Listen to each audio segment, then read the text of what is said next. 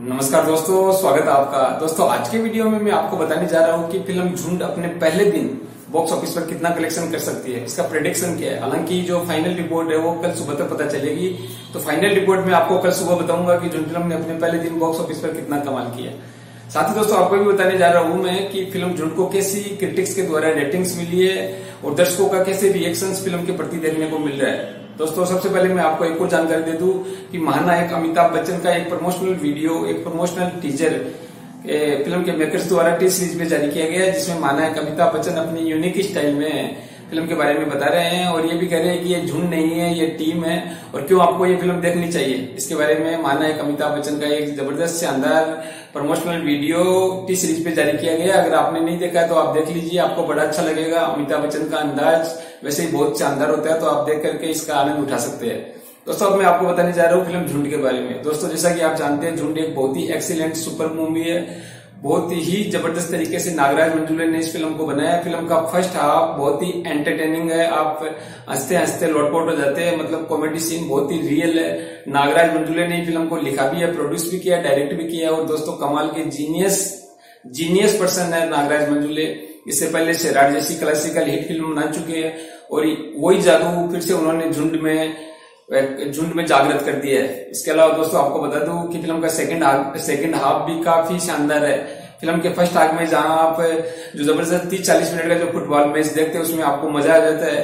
और दोस्तों फ़िल्म की लंबाई अधिक होने के बावजूद आपको कहीं ये महसूस नहीं होता है कि फ़िल्म में आप कहीं बोर हो रहे हैं। इसके अलावा दोस्तों सेकंड हाफ़ बहुत शानदार है। कई फ़िल्म के, कई ऐसे दृश्य है जो आपको इमोशनल कर जाते हैं, आपकी आँखों में आँसू आ जाते हैं। और फ़िल्म को, फ़िल्म से आप रिलेट करते हैं, फ़िल्म से आप मोटिवेट होते हैं, फ़िल्म से आप प्रेरणा पाते हैं और आप ये सोचते हैं कि अरे यार अपने बॉलीवुड में भी ऐसी फ़िल्म बनाने वाले फिल्मकार है। कई दिनों के बाद में, दोस्तों आपको बता रहा हूँ, कई दिनों के बाद में बॉलीवुड में एक ऐसी फ़िल्म बनी है जिसको आप फैमिली के साथ देख सकते हैं एंजॉय कर सकते हैं और आप तालियाँ बजाएँगे सिनेमा हॉल में। इतनी अच्छी फ़िल्म ये है सुपर बाय एक्सीलेंट अब दोस्तों, आपको बता दूँ कि इस फ़िल्म को सभी क्रिटिक्स ने अच्छे रिव्यूज़ दिए। ज़्यादातर क्रिटिक्स ने बहुत ही अच्छे रिव्यूज़ दिए।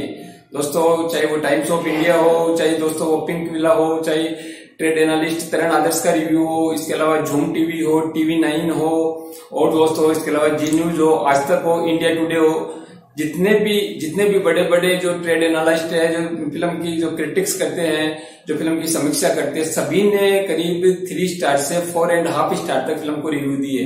तो दोस्तों फ़िल्म की करीब average rating three and half star है, जो कि बहुत ही बेहतरीन है।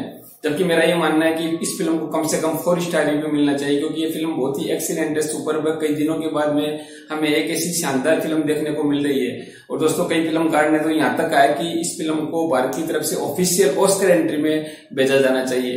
दोस्तों वो उसका भी सही रहे, क्योंकि ये फ़िल्म वास्तव में है ही बहुत गजब। अगर आपने नहीं देखी है तो प्लीज़ मत चुकिएगा। ये फ़िल्म आप ज़रूर देखिएगा।